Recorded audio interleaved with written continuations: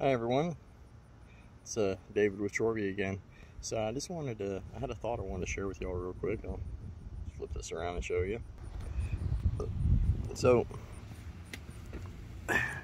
right here you can see there's just a ton of weeds here.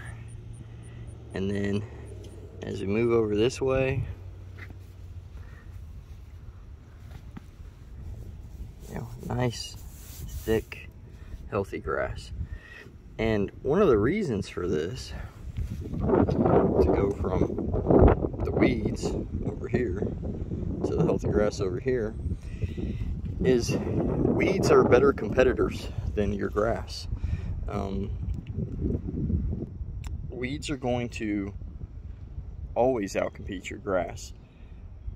Imagine just for a moment if you were uh, sitting in a room with somebody who was really big and jacked up, kind of like one of those uh, wrestler looking guys, right? And um, they put a uh, Subway sandwich in front of y'all. And they said, okay, well, whoever grabs it first is going to get to eat it. And uh, he grabs a hold of it, and you try as hard as you can to pull it away from him, but he's just stronger than you. And so you might break off a little piece at the end of the sandwich, but for the most part, he's going to get the majority of that sandwich. Um, when it comes to nutrients, weeds do the same thing as that wrestler does to your grass. They're stronger than your grass. They have deeper roots. They can survive a lot better. Uh, just as an example, I mean, look right here, right here on the sidewalk.